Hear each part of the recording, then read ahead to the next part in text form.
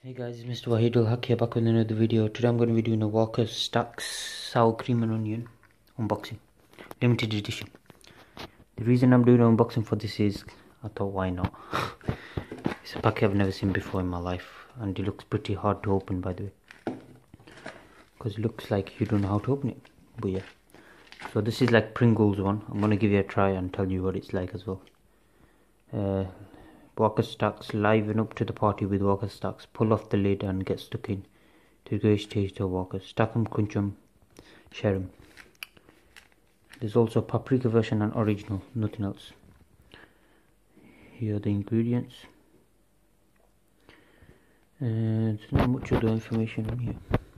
But yeah, I'm gonna go ahead and open this. I'll show you how to open it. You have to hold just two edges and then look the lid comes off and pull it off pull it off there you go there's the lid off guys. And then it's got a tin foil. I'm not gonna i'm not sure how i'm gonna do this with one hand. Oh did you hear the air coming off then? Compressing. Holy crap look at that guys.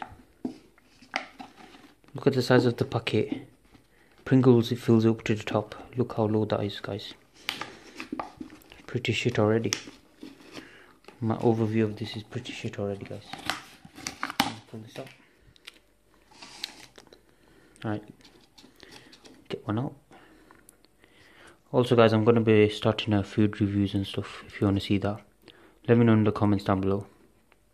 I'll go around my town and do food reviews of random restaurants takeaways everything. Then I'll go around every other town. Yeah you know. And if you want me to come review your place let me know. This is what it looks like. It doesn't look too bad at the moment. A lot of uh, sour cream on there. I'm gonna go ahead and try it. Very crunchy guys. Not much taste in it though. Let me try one more. Pringles is definitely better than this. Even the Tesco price one is better.